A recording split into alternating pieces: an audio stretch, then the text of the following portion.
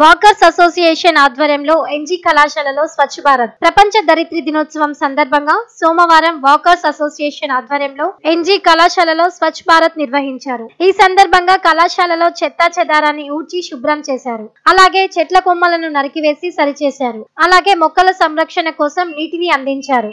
కళాశాలలో మొక్కల పెంపకం కోసం చర్యలు తీసుకున్నారు. ఈ కార్యక్రమంలో doctor ACH Pullarao Bhimarjun Reddy doctor Subbarao Pasala Shauri Buchireddy Lingaiah Padmachari Padmakar తదితరులు పాల్గొన్నారు.